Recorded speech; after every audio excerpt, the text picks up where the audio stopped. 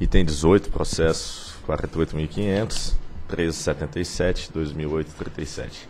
Recurso administrativo interposto pela Energy Participações SA em face do despacho 1065 de 2013 da SGH, que não aprovou o projeto básico da PCH Cabuí, transferiu para a condição de inativo o registro da recorrente para elaboração dos estudos da PCH Cabuí e revogou os despachos 3.380 de 2008 e 701 de 2010. Diretor relator, doutor André Peptoni, informo que há pedido de sustentação oral.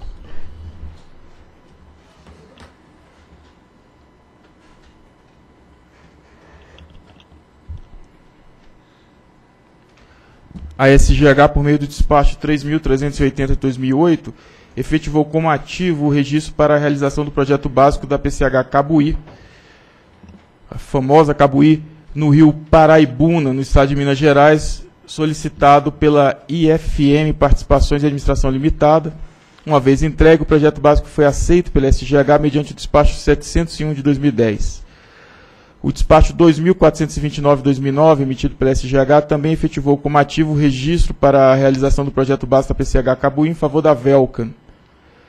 E o respectivo projeto básico foi também aceito, agora pelo despacho número 738, de 22 de março de 2010. E por intermédio do despacho 3.656, de 8 de setembro de 2011, a SGH transferiu a pedido a titularidade do registro da para a W Energy Participações SA.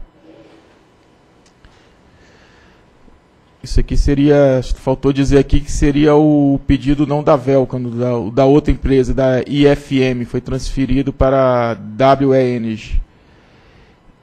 Na fase de análise, a SGH, por meio da nota técnica 473 de 2013, avaliou tecnicamente o projeto básico apresentado então pelas duas empresas identificou, todavia, inconformidades técnicas nos aspectos relativos à cartografia, topografia e à hidrologia, e assim decidiu não aprovar o projeto básico. A decisão foi consubstanciada no despacho 1065, de 11 de abril de 2013, que, além de não aprovar o projeto básico, transferiu para a condição de nativo o respectivo registro para elaboração de estudo e revogou os despachos 3.380 de 2008 e o 701 deve ser do registro e outro do aceite do, do projeto.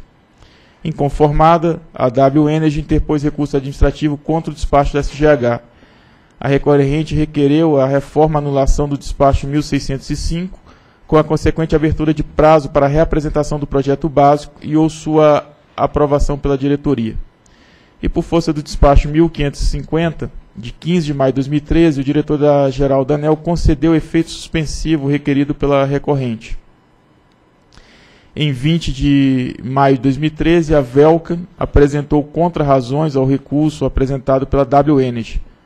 Alegou que o recurso seria intempestivo e que não seria cabível a abertura de prazo para a representação do projeto, haja visto o princípio da legalidade estrita, da existência de outro interessado, ou seja, um caso em que tem a, a concorrência, e observou também a indevida utilização de norma aplicável apenas à fase de aceite dos projetos básicos.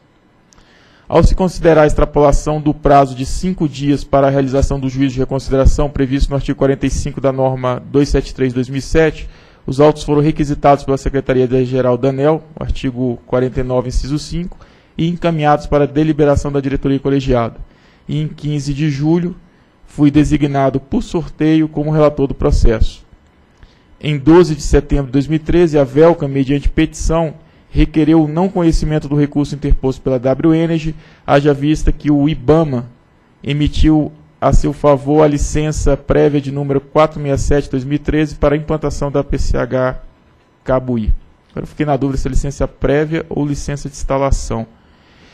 Em 1 de outubro de 2013, minha assessoria recebeu os representantes da Velca em reunião. É o relatório. A sustentação oral será feita pela doutora Isabel Lustosa, representante da empresa Velcom Desenvolvimento Energético do Brasil Limitada. Boa tarde a todos. É, como já foi bem dito no relatório, é, trata-se de recurso interposto pela WN contra a decisão que não aprovou o seu projeto básico para a PCH Cabuí. O aproveitamento relativo à PCH Cabuí é um aproveitamento de, com 19 megawatts de, de capacidade que fica divisa, na divisa dos estados do Rio e de Minas Gerais. É, depois da fase de aceite de ambos os projetos básicos, houve um impasse causado em 2010 por um ofício do IBAMA que é, entendeu que só deveria emitir licenciamento depois da fase de hierarquização dos projetos.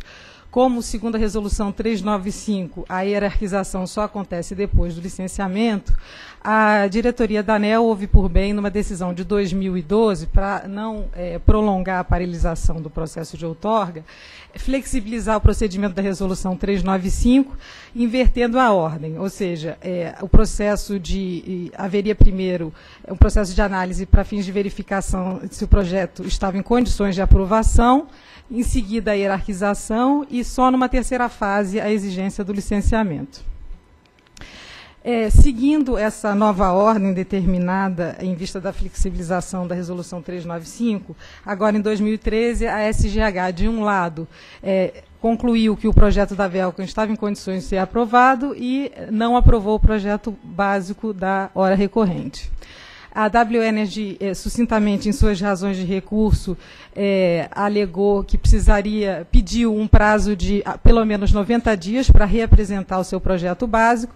E, e nas, nas suas contrarrazões, a Velcam, é, também sucintamente, afirmou que não haveria na regulamentação nenhuma previsão no sentido de reapresentação de projeto básico na fase de aprovação, somente na fase de aceite, e mostrou também que não há nenhum precedente da ANEL no qual a diretoria tenha concedido esse pedido de reapresentação de projeto básico em fase de aprovação quando o processo envolvia mais de um interessado. Há alguns casos, sim, em que a diretoria deferiu esse tipo de pedido, mas somente quando havia um interessado no processo, o que faz todo sentido.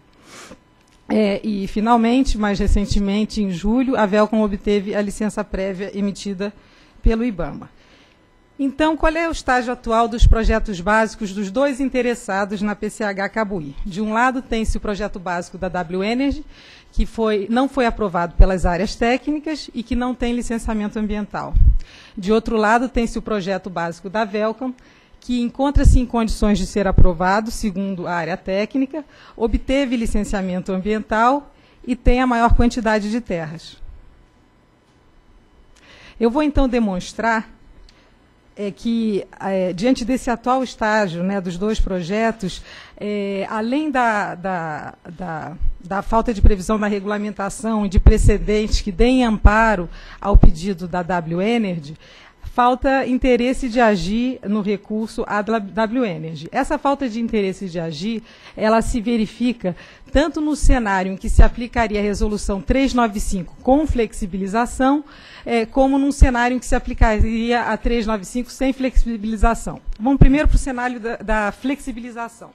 Segundo o despacho que determinou a flexibilização, a ordem dos processos seria verificação dos processos em condições de aprovação, hierarquização, exigências de licenciamento e outorga. Bom, seguindo essa ordem, a nota técnica de 2013 determinou que só o projeto da Velcro estaria em condições de ser aprovado. Só, só um segundinho. Ih, bom, tudo bem. É, em seguida, é, só o projeto da, da eu não tô, eu estava querendo mostrar um slide escondido aqui, mas eu não estou conseguindo, tudo bem. É, e, além disso, então, é, é, há uma nota técnica nesse sentido, e já havia uma outra nota técnica no sentido de que, passando a Velcom para a fase seguinte, que seria de hierarquização, e passando também a W Energy para essa outra fase, né, hipoteticamente, a Velcom seria hierarquizada em primeiro lugar, porque é ela que tem, é a maior proprietária é, de terras. Ai, não vou conseguir mostrar. Bom ah, ainda que provi. Então, o que, que isso significa dizer? Que, ainda que o recurso da W Energy, que hora se vai examinar, fosse provido, é, o processo, a, a, o exame voltasse, a W Energy reapresentasse um projeto básico. Hipoteticamente, esse projeto básico fosse é, considerado em condições de aprovação, quando se passasse para a fase seguinte com as duas interessadas, Velcan e W Energy, a Velcan fatalmente, fatalmente seria hierarquizada em primeiro lugar, porque ela tem a maior quantidade de terras. Então, isso demonstra a inutilidade desse recurso é, para a W Energy, na medida em que qualquer que seja o resultado obtido nesse processo, ela estará em segundo lugar ainda com relação à Velcam. Vamos ver é, que a mesma conclusão a gente chega se a gente aplicar a resolução 395 sem nenhuma flexibilização. Isso significa dizer que a ordem é, do processo de outorga seria é, primeiro verificar os projetos em condições de serem aprovados, considerando o licenciamento ambiental, e, em seguida, fazer a hierarquização e conceder a outorga.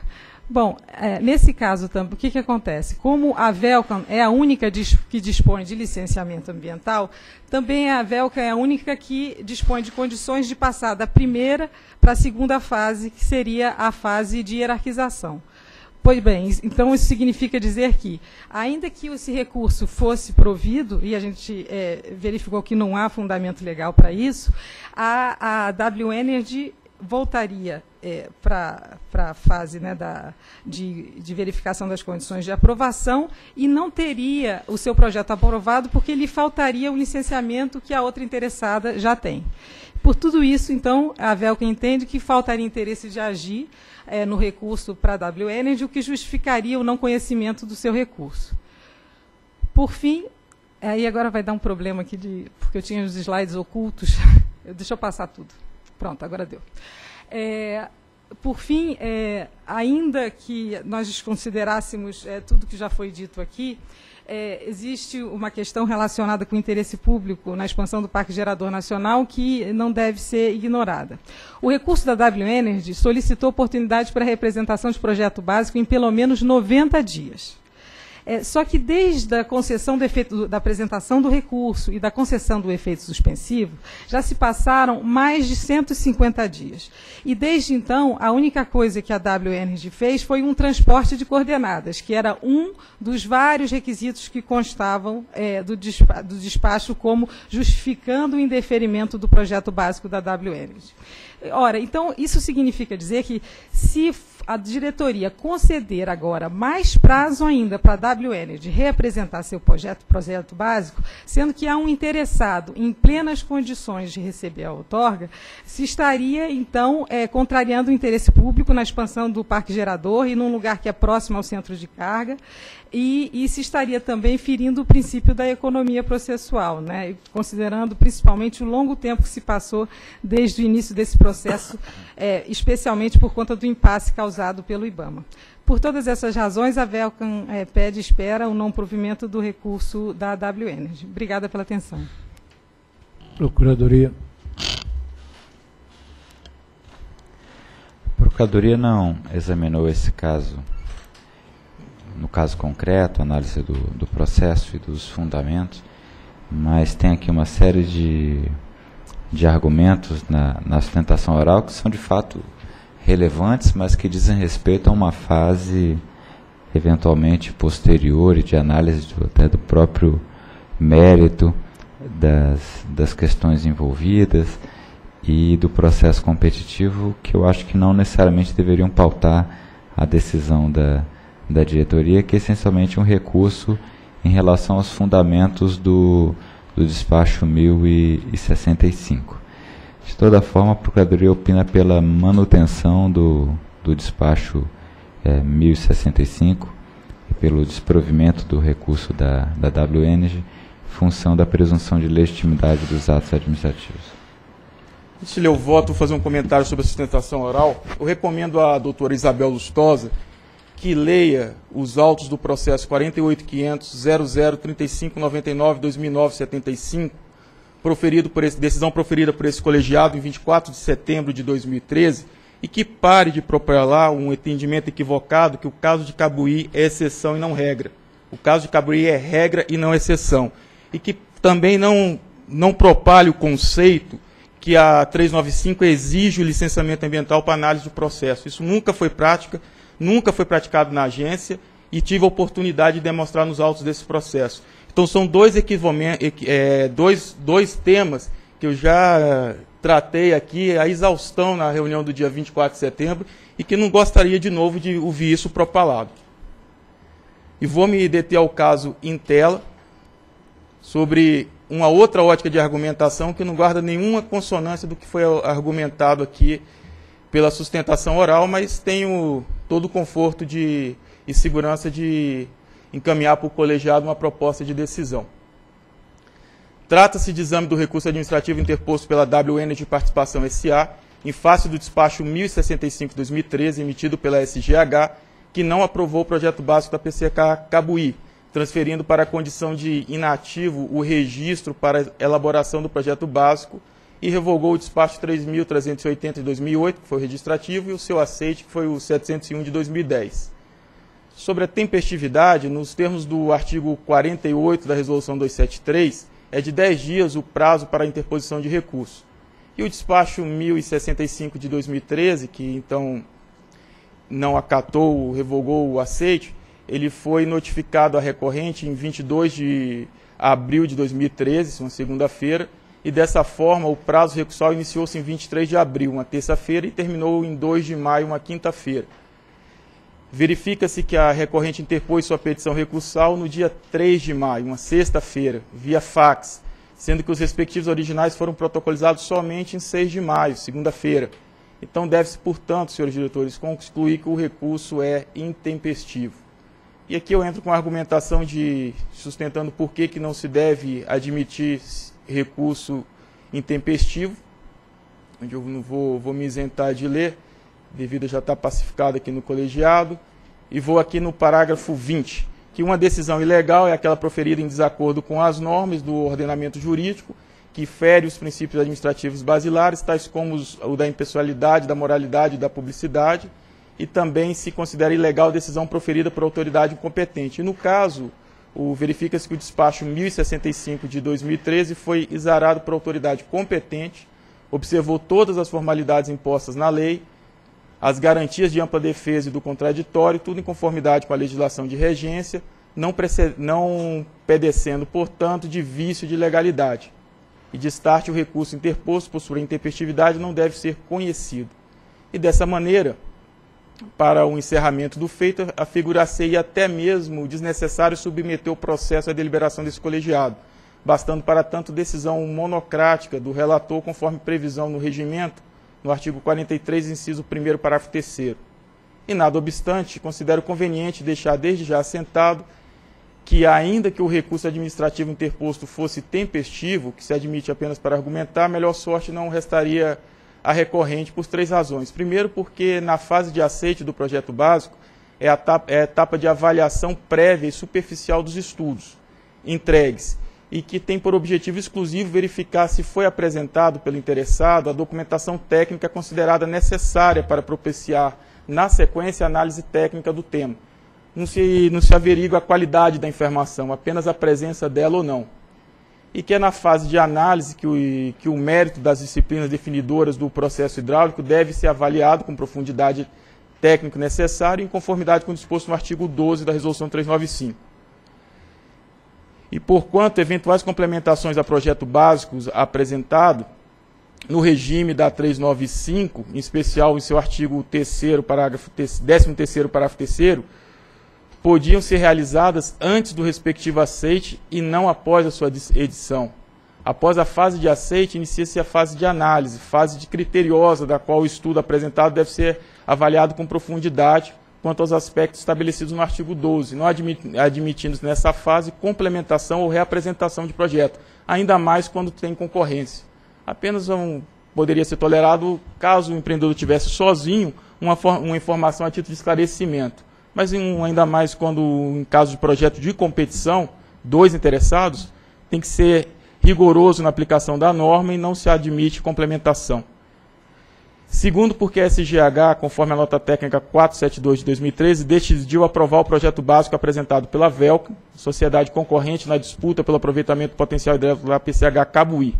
Conquanto não tenha sido editado o despacho, a, a decisão foi comunicada à interessada por intermédio do ofício 849, também de 11 de abril de 2013, emitido pela SGH. E terceiro, porque, mediante a carta sem número de 15 de julho de 2013, protocolizada em 17 de julho de 2013, a VELCA apresentou cópia da licença prévia emitida pelo IBAMA. De fato, confirmei aqui com, com a minha assessoria, foi colocado aqui da sustentação, é a licença prévia, que é uma etapa importante para que se inicie a construção de, da usina, permitindo o início das obras com a emissão da LI. Então, dessa maneira, senhores diretores, o recurso administrativo interposto ele não deve ser conhecido e, de fato, se a questão aqui da competição, então, ela não está caracterizada, porque foi analisado os dois projetos, um projeto não foi aprovado, não tem condições de ser aprovado, e apenas um. Então, o empreendedor está sozinho, já detentor da licença ambiental, então é possível até que se encaminhe esse projeto para que se providencie a outorga do, da, do empreendimento à empresa Velca no âmbito da SCG. Com apoio nessa fundamentação e no disposto no processo 48.500.00.1377.2008, dígito 37, voto por não conhecer, haja vista sua intempestividade e ausência do interesse de agir, do recurso administrativo interposto pela W Energy, mantendo na íntegra o despacho 1065 de 11 de abril de 2013, emitido pela SGH, que não aprovou o projeto básico da PCH Cabuí, transferiu para a condição de inativo o respectivo registro para elaboração de estudos e revogou o despacho 3.380 de 12 de setembro de 2008 e o 701 de 19 de março de 2010 é o voto. Em discussão. Em votação. Voto com o relator. Também voto com o relator. Proclamo que a editoria decidiu por não conhecer, haja visto sua intempestividade e ausência de interesse de agir, do recurso administrativo interposto pela WN de Participação de SA, mantendo a íntegra despacho 1065 de 2013, emitido pela SGH, que não aprovou o projeto básico da PCH Cabuí, transferiu para a condição de nativo o respectivo registro para elaboração do estudo e revogou o despacho 3.380 de 2008 e 701 de 2010.